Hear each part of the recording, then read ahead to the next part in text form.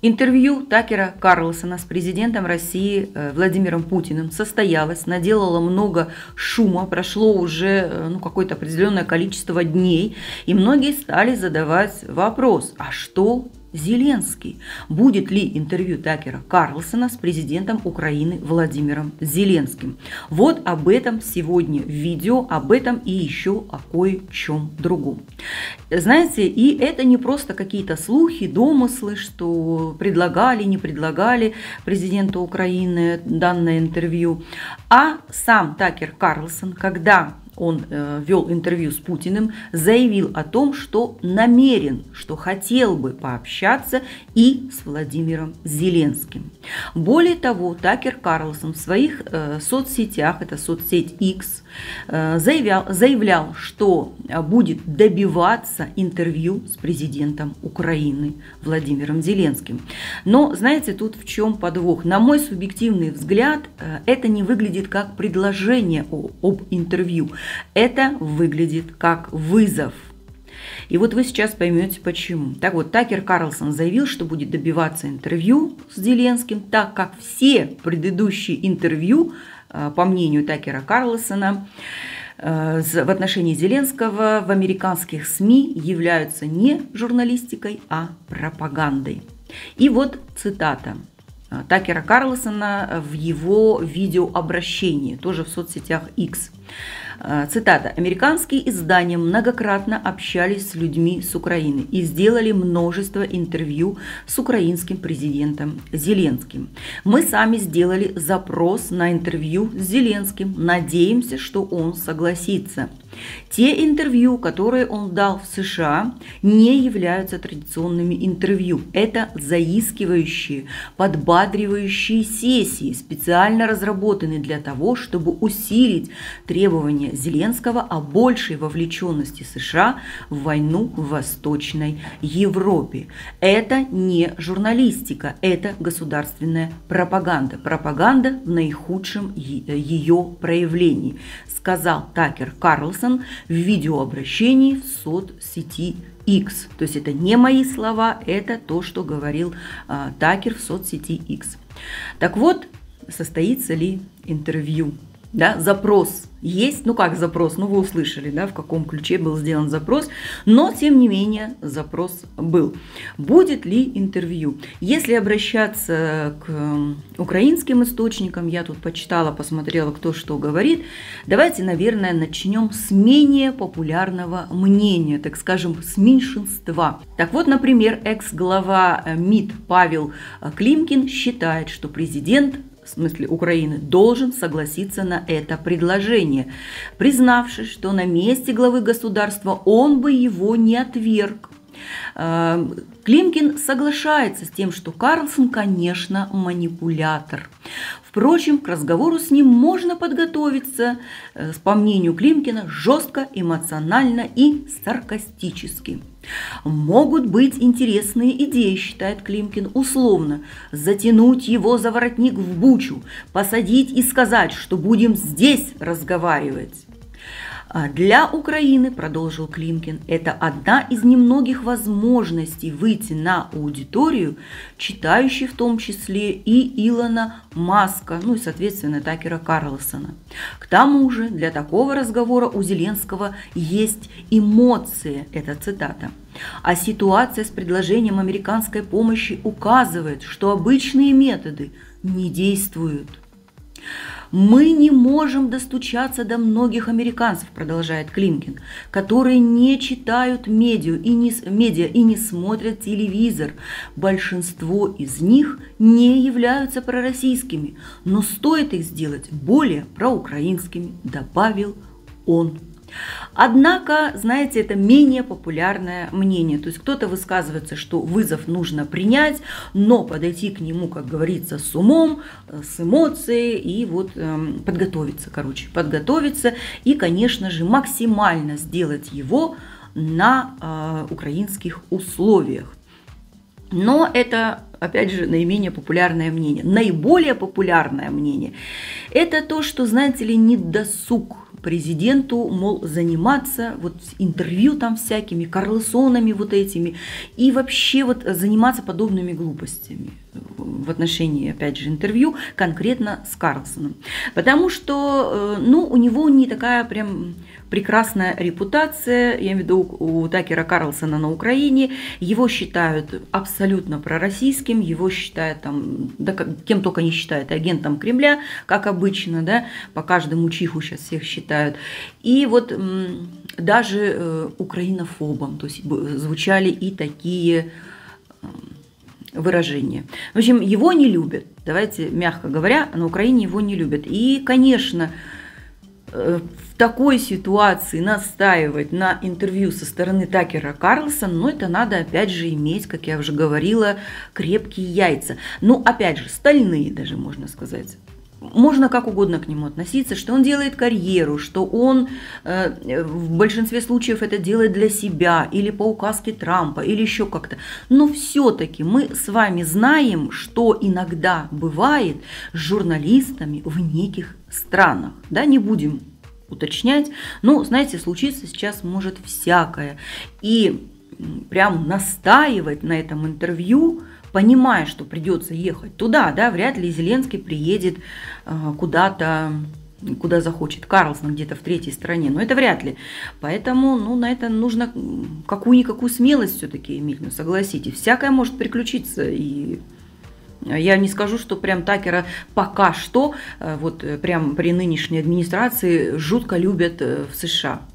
Да? Я не говорю сейчас про простых людей. Я еще раз должна уточнить, что я всегда разделяю э, правящую вот эту вот э, верхушку от простых людей. Так вот, э, ну такая, знаете, довольно тревожненькая ситуация в отношении Такера Карлсона.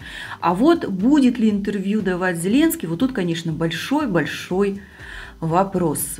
Честно говоря, я думаю, что такое интервью все-таки не состоится. Хотя все может быть. Все может быть. Но это все-таки звучит как вызов, правда же? Вот как вы думаете, состоится такое интервью в, в, в обозримом будущем или вообще хоть когда-нибудь именно с Такером Карлсом? Или нет? Вот я почему-то склоняюсь к такому варианту, что скорее нет, чем да, потому что, ну, там не будут жалеть, там не будут гладить по головке, там, скорее всего, будут задавать вопросы, которые могут не понравиться, так скажем. Ну и вообще, в принципе, да, сам факт, что сначала было интервью с Путиным, э, э, насколько оно прям прогремело по миру, какой резонанс это вызвало, соперничать с этим интервью будет крайне сложно.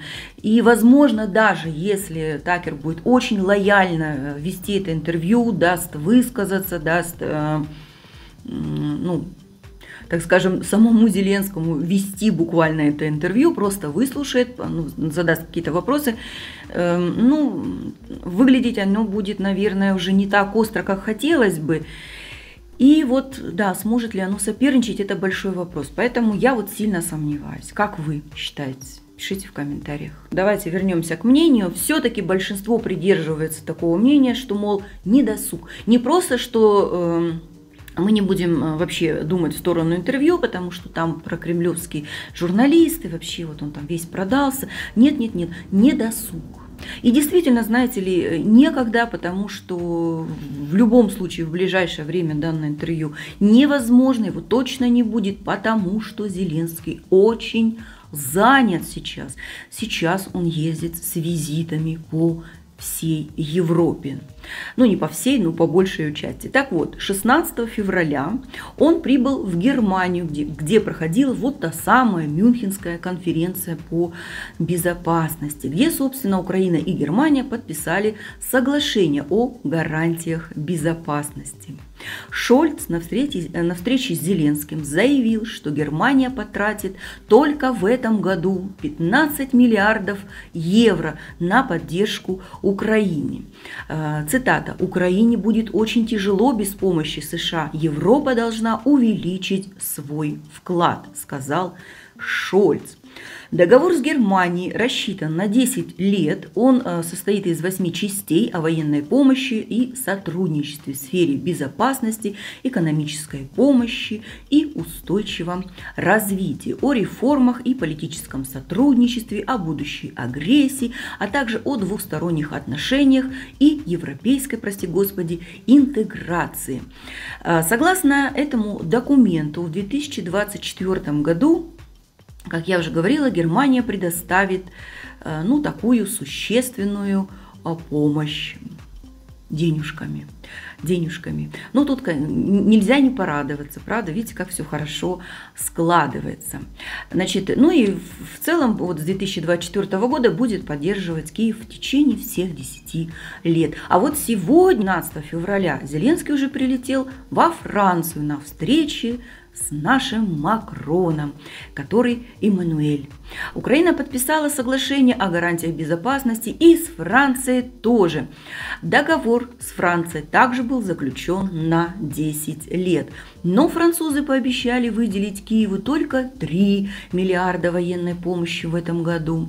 Кстати, ранее Украина уже подписала подобный договор о гарантиях безопасности с Великобританией. Ну, какое-то время назад. Что сказать? Хорошо, когда есть деньги. Правда? Хорошо. Хорошо, что тут уже все проблемы решены и во Франции, и в Германии. Как говорится, чё не поддержать а, другую страну в течение 10 лет. А свои и сами справятся.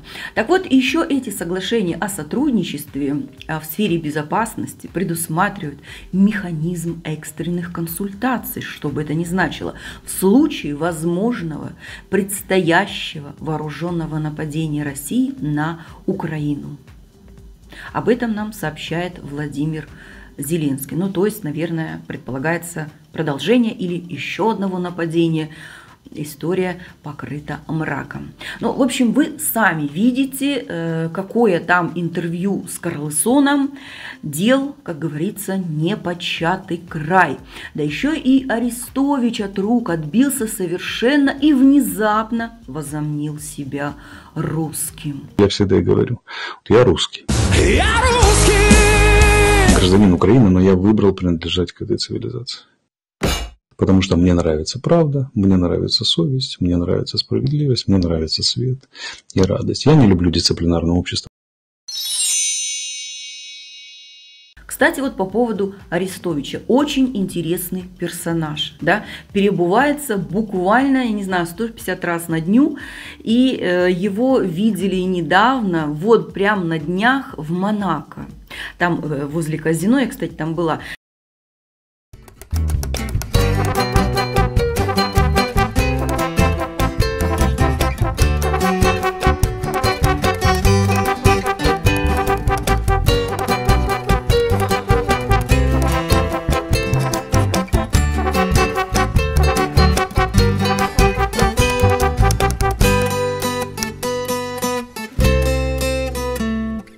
Это знаменитое казино, и он прям туда и направлялся. Так что, друзья мои, в Монако теперь на одного русского больше. Я русский. Ура, как говорится, товарищи. Но если серьезно, вообще, конечно, странный персонаж. И я все время задаюсь вопросом, а неужели ему позволяют вот говорить то, что он сейчас говорит? Вот не могу просто поверить, что он говорит это от себя, он говорит это искренне. И ну вот такой просто смелый, смелый парень. Что думаете? Мне кажется, тут какая-то игра идет. Тут что-то такое вроде... Э, я даже не знаю, как выразиться, оппозиции, что ли, да, такой безопасной, что если вдруг, я не думаю, что ему позволяют это, ну так скажем, оттуда, из Украины, мне кажется, его пока э, говорят не трогать оттуда, да, ну, там, за океаном. Вот мне так кажется, потому что, ну, чтобы был, наверное, я, я, конечно, могу ошибаться, я еще раз говорю, я не эксперт, не боже мой, не истина в последней инстанции, но вот как-то странно, да? Я вот думаю, если на постоянной основе кто-то из бывших приближенных такое бы говорил, ну, его бы быстренько где-то там это, да, или нет, или да, как думаете? А тут прям так открыто, так нарочито, так, так регулярно, постоянно. Хотя буквально два года назад мы слышали с вами совершенно э, другие речи. Вот, вот прям кардинально противоположные. А сейчас вон оно что, распоясался совсем. Ну что это такое?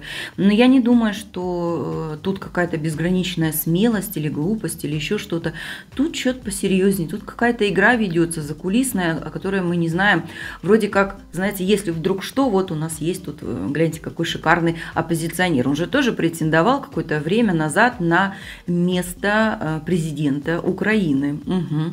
Вот я и думаю, да? Может быть такое, как вы считаете, что если вдруг тут что-то пойдет не так, то у нас вот, пожалуйста, готовенький, такой красивенький, румяный оппозиционер. М? Ну, красота красота, я считаю. В общем, все, что думаете по этому поводу, пишите, пожалуйста, в комментариях.